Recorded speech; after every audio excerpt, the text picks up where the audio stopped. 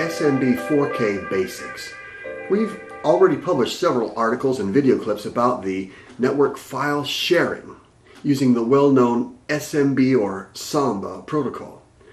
This file sharing method was made popular long ago because of its use in Microsoft's Windows operating system. Nowadays, Samba file shares are routinely offered by modern, powerful NAT routers in our homes and small businesses. If your router has a USB connector on it, you can probably take advantage of this feature as we described in our November 2010 episode on network attached storage the easy way. We've been doing this for years.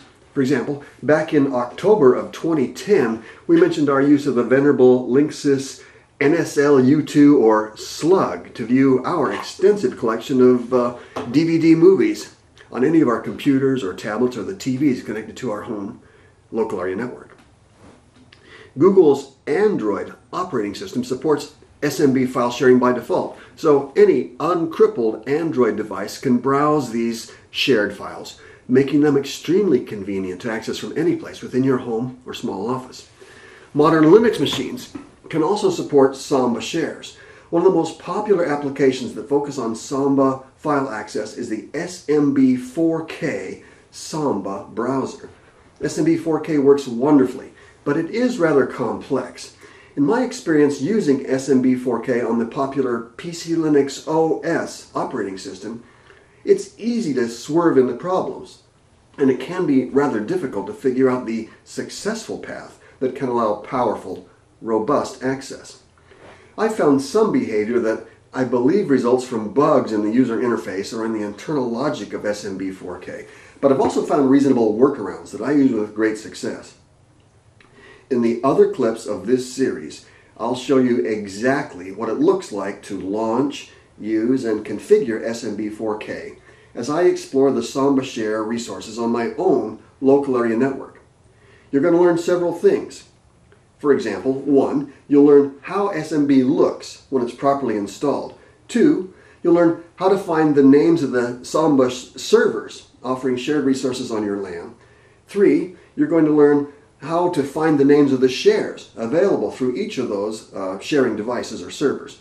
Four, you're going to learn two different ways to mount those shares in Linux based on informal, exploratory browsing where you don't need to know their names.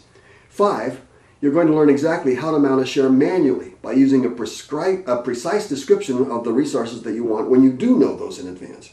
And six, You'll learn how to configure the user interface of SMB4K to reveal more information about shared resources and disk drives. This really is not difficult, but you do need to provide some details in a precise and inflexible format.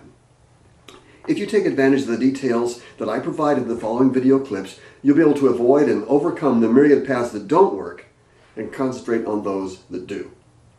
Now this video clip is the first in a series of 10 clips.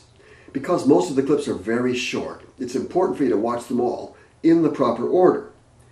If you are watching this first clip from within YouTube, you may find it difficult to find all of the other associated clips, and you may likely get them in the wrong order. So please join us in the Linux section at AskMisterWizard.com, where you'll find it much easier, and you'll also find additional related material. From YouTube's um, window, you can see a blue link in the text description below. Click on that blue link and you'll be taken directly to the appropriate area of our AskMisterWizard.com archives. Now, in the subsequent clips, prepare to see my display screen as I lead you along. Click on each video link in order. Let's get started. Thanks.